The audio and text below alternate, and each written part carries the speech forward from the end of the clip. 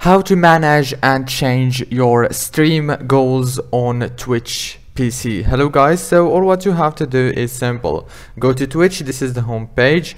Now go to the top here, click here on settings and it will take you to this page. Click on channel and videos and click on stream manager. Now click here on manage goals and here as you can see you will be able to change your stream goals. You can change for example the follower goal. For example I want 100 follower. And also you can change the browser source. You can copy it from here.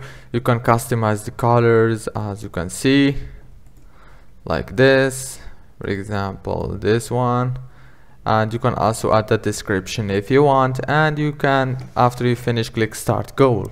If this video was helpful please don't forget to like subscribe. Thank you so much for watching this video. Until the end